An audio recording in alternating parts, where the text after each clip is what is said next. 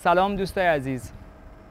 از لحظه ای که دستمون رو روی سیمای گیتار می‌ذاریم و سیما رو به ارتعاش در میاریم این ارتعاش در تعامل با پیکاپ گیتارمون یه سیگنال الکتریکی تولید می‌کنه که ما از این سیگنال در مسیر با استفاده از پدال ها و آمپلیفایرمون تولید صدا می‌کنیم. این صدا میشه تون ما. روز جمعه 21 اردیبهشت گیتاریران این شانس و موقعیت رو به من داده که شما رو حضورا ببینم.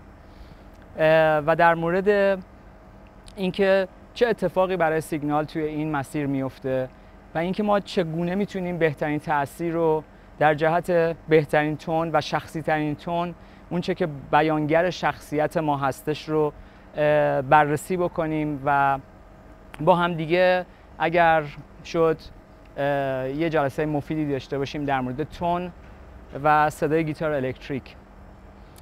خواهش می‌کنم اگر علاقه من هستین ثبت نام بکنین تشریف بیارین. خیلی خوشحال میشم اگر ببینمتون. خدافظ